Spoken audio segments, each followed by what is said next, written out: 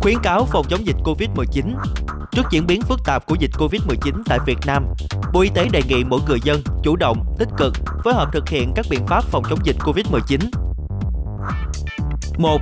Đeo khẩu trang khi ra ngoài, khi tham gia các phương tiện công cộng. 2. Thường xuyên rửa tay bằng xà phòng và nước sạch hoặc rửa tay bằng dung dịch sát khuẩn tay. 3. Hạn chế đi đến nơi công cộng, các khu vực tập trung đông người, hạn chế tụ tập đông người khi không cần thiết. 4. Không đưa tay lên mắt, mũi, miệng, thường xuyên xúc họng bằng nước muối hoặc dung dịch sát khuẩn. 5. Vệ sinh thông thoáng nhà cửa, lau rửa các bề mặt tiếp xúc. 6. Thực hiện khai báo y tế, cập nhật tình hình sức khỏe hàng ngày, giữ liên hệ với cơ sở y tế gần nhất. Liên hệ với đường dây nóng Bộ Y tế 1900 9095 để được tư vấn khi cần thiết.